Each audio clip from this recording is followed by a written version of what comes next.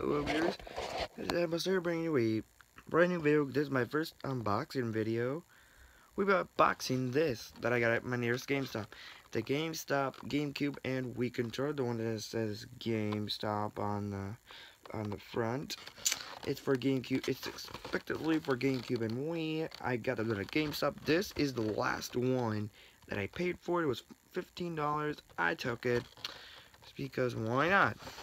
Because this one is like a limited edition GameStop one. It's cool because it's very awesome because it's the GameCube logo, the GameStop logo, and all of, and it's black. So, so what? So, it's time we unbox this. It's time we it's time we unboxed this GameCube controller. So let's go. Here it is again in the box. But now let's open it. It's, now let's open the box. Is there any box anymore? Oh god.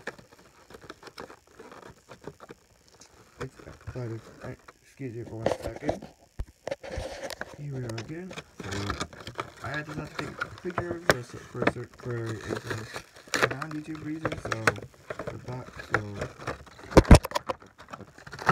It. It's very hard to get this.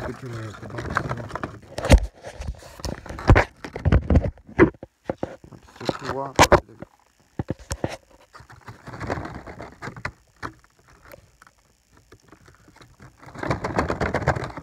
Come on. Come on.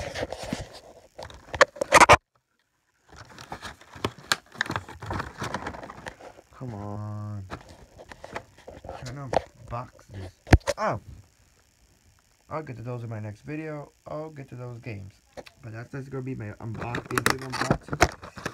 So, I don't want to get wasted, is a bud. I'll be right back. Here's the box after it was open. Yeah, it's not exactly fresh anymore. Can you blame me? But the main focus is now the GameCube controller. It, so here's the here's the here's the controller outside the box.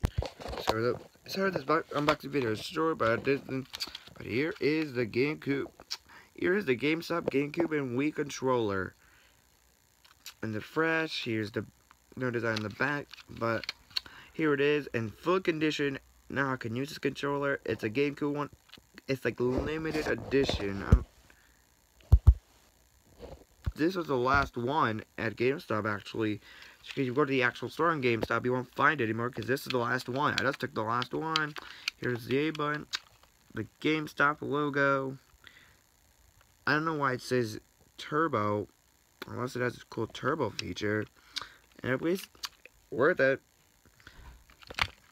But that concludes this unboxing video for today. Hope you guys enjoyed this new video, because now I have a brand new GameCube controller that's that's GameStop limited edition. So, thank you so much for watching this unboxing video, and I'll see you in my next video.